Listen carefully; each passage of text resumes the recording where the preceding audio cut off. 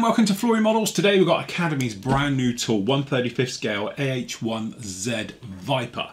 No, might look like a Cobra, but actually this is the Viper, the highly more capable uh, version from the sort of last one, I should think, of the actual uh, Cobra family.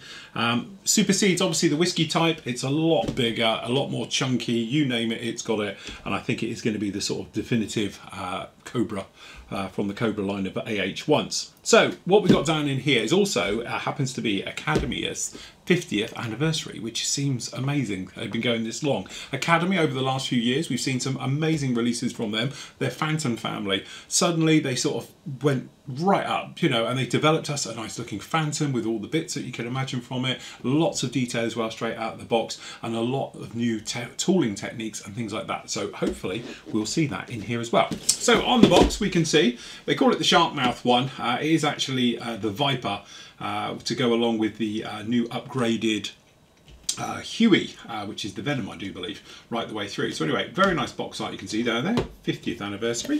All right, some pictures of it actually made up, which looks absolutely gorgeous, I have to say. That's very, very impressive build on the side there. So that's looking very nice indeed. Running around on here, so your kit number for this one is 12127. And then obviously we've got your paint call out, and various things, down on there and back to the other side. And it's saying decals by Cartograf, which is always a very welcome sign. So as you can see, the box itself, on here to hold them down. The box itself is pretty well full up. We've got various screws as you can see down in there and we've got a little thing. I haven't looked at this as always. Please check parts list before unsealing. Replacement or return not guaranteed when plastic is unsealed. Ooh. I haven't seen that before. So you've got to check all your parts and make sure they're all perfectly fine. Uh, otherwise you can't claim. That's what they're really saying. Okay, so down on the instructions, Academy's standard way of putting this out. We've got colour call out to pretty much everybody down the bottom, as you might imagine. All right, so working our way across, usual thing as you might imagine, we're starting into the cockpit, everything going in here. Remember, this is a modern helicopter, so it's giant big TV screens and lots of electronics in there. Seats being fitted to it, armour, you name it, it's going to have it going through all of this one as it's being put down there. Opening up a few bits and pieces uh, around it and then obviously we've got some of the uh, camera equipment being fitted onto this one and those being fitted in and lots of different areas going in from the inside. Also it looks like we have got uh, the actual blades for the engines. They're buried quite deep uh, down here on the actual uh, Viper you can probably see it up here the way it's going to go in the side and come through. Same on the other side as well. All right one thing i will just mention i was just wondering if it has and it does. You are going to need a little bit of ballast for the front. The reason i say that is is that some cobras can be tail sitters so it's never worth taking a risk. So i always usually put a little bit of weight down in the front and they are calling out for three grams down in there as it is. So once you've got that in place you can put two halves together. We've got the little pole there which is going to be uh, obviously for uh, main rotor and then obviously all the lumps and bumps lots of things being fitted down onto this one. Nice little touch with the way that the actual uh, skids or the skis are done purely because we've got a good strengthening plate over the top down to the bottom and then it goes in. It's not like it's glued on the side and then you can have alignment problems and some fit issues and stuff like that. No problem with that. So it'll be nice and square and very strong which is the main point to this one. Then you've got this entire underside section is just going to go up and then fit underneath. Hopefully it's going to be a nice fit down on there like that then we're moving around, so we've got some covers. Unfortunately, we don't get uh, any detail for engines or anything else to have them with the covers open. Uh, and then we've got obviously the big uh, infrared uh, filters uh, down at the back there, trying to get rid of some of that heat signature. Gearbox for the top of the rotor, tail rotor, looking very nice, and those areas going in there like that. And then this little guy, which I have seen obviously on promo stuff and things, is a slip one piece injection tail, which is really nice. So you've just got the end part going onto that. And then obviously we've got the winglets down at the back. Those all being fitted on and ready to go in. Then we've got the glasswork, so it's talking all about the glasswork being fitted down onto this one. Looks like the actual gun system is a nice one. Uh, I assume there's probably a polycap in there. It's just going to be a push-up for the front of the cannon being fitted onto that one there's your cannon system and then obviously if you're going to have the glass open or closed it would be an option to have that one down there then on to the other side, we're into some of the weapons call out for this one. So you do get some sidewinders for it. We've got the actual uh, rocket pods, uh, with the Hydra system on those. We've got some Hellfires down on those, which again, very nice touch. And then the pylon systems, so forth and so on for fitting out which weapon outfit you want with this one. Those giant wings being fitted onto those, or really pylons being fitted onto it, as you can see. And then we've got main uh, rotor uh, system being put together and those fitted on there just like that. Then we've got the tail rotor system going on and then obviously both of those being dropped in and you're good to go. So I'm just wondering where the colour call out is. Perhaps that's on a separate something. And there we have it. So pretty much straightforward as you'd expect. Some nice things to have a look at. So I'm just going to go digging because I'm hoping we've got a colour call out and some things down in here, which we do. There's our decals. Okay, so we've got a little thing about tools and how to use them, which you'd be amazed how many people don't know how to use a pair of cutters correctly. Okay, so that's down in there. All right, and then actually, this is very nice. Manual 2, they're calling this. This is purely for the call out. So you've got all your stencil data down on there just like that. And then down in here, we've got some detail stencil data for some of the parts. And then we've actually got the ones, and that it does look nice, doesn't it? I know I'm a shark fan. You know, anybody who knows me know I'm a sucker for shark mouths and anything with teeth on it. That looks absolutely gorgeous. So anyway, we've got that one down there, and then other versions right the way through, uh, as you can see with those ones on that. And then if you want a normal version, it's down here on the back as well. You've got a normal one without all of those on there. And again, more stencil data. Looks like we get a nice mask set as well uh, for that one, so that'd be quite handy.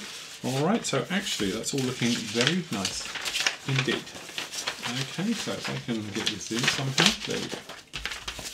There's that folded in. So there it is, that's our mask set down the back. I don't think really we're going to need to get these out. They are Cartografs, so we know they're going to be very, very nice right the way through. And as you can see, pretty good, solid colours going down in here. So you've got the sort of high vis and low vis markings on those as well. Even the uh, slime lines are quite nice.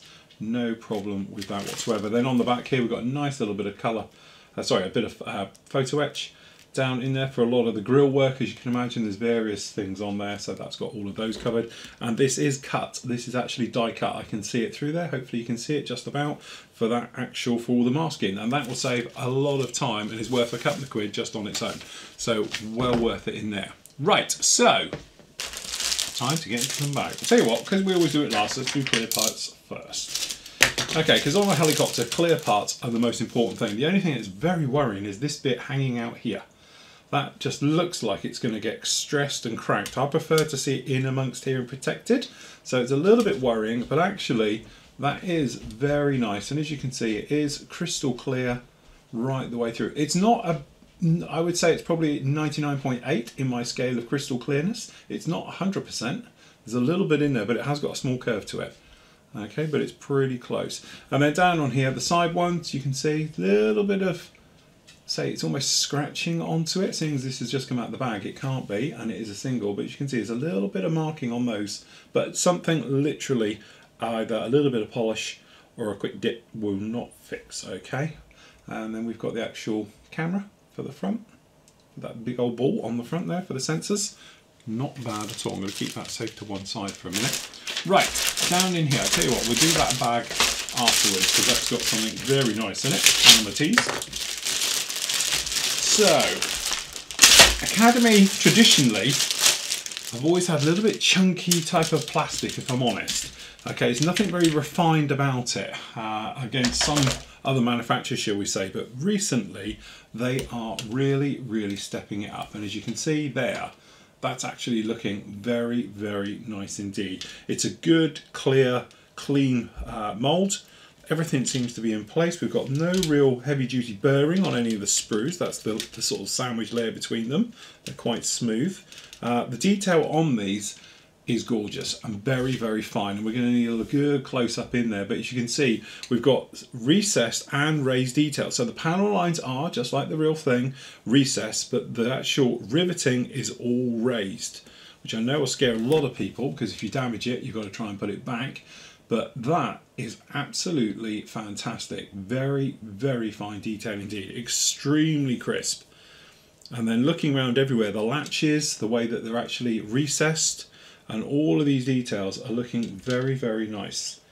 No problem with that at all. And even around underneath the mould, underneath this nose section, things like that, it is still crystal uh, in clear in the detail. It's not fading off or just rolling away and even under here, that's actually very, very nice indeed. That's incredibly sharp detail.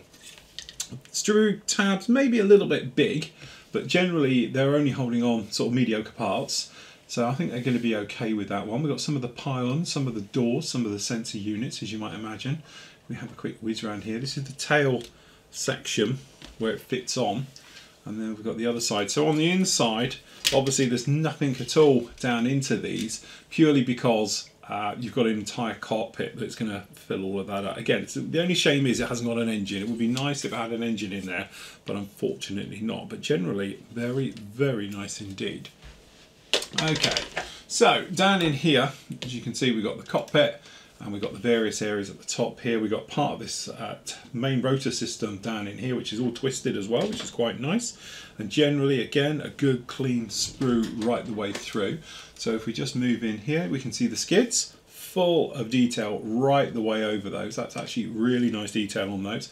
We've got the actual intakes looking good. We've got the actual uh, panels for the crew for the gunner and the pilot and then obviously we've got a wall of circuit breakers and various things we assume down in here. And then these I assume are the barrels uh, down in here for the three barrel cannon. And then more intakes. Uh, sorry exhausts actually. I think they're exhausts. Okay part of this camera unit. Now there is one as we saw molded here. So you've got it in grey but also we've got it in clear. So it is the same unit which is uh, uh, that way round as you look at it. Okay, so we have got them both types. So if you wanted to have it clear or you just wanted to paint it perhaps in gloss black in these areas and get away with it that way, then you can do. All right, so that's very nice indeed. And then looking up at the parts down in here, very nice indeed. Again, raised rivet detail all over these. Okay, the cockpit itself, again, it's it, don't forget it's modern, so it's very minimal. It's not covered in circuit breakers and switches like the older ones. Okay, and then down, and this rotor head section, as you can see, very nice indeed. And then if we just flip it over, as you can see down in there, good, clean, no sign of any um, sort of flash or any mismolds or short shots, and there's certainly no, or that I can see anywhere, um, actually sink marks in the plastic. So that's very nice. Okay, this is the bit that's slightly exciting. So what we got down in here is something we haven't seen from uh, Academy before. We can get that out. Uh, and this is this one-piece slip tail. So very clever how they inject that. So something comes in the side here, it goes down into there, then it's injected, and then it's re retracted out and done. It's incredibly complicated, but the great thing about it is you get a three-dimensional pattern right the way around it. So that's the nice thing to it. Again, just out of note, some of the engineering little features down in here, you can probably see all these little dots everywhere. Very clever. And again, slip injection moulding on the actual one-piece pylons as well. So no nasty seam lines to deal with there either. So in some ways, that is very, very clever. So if we start, I tell you what, let's just start with it.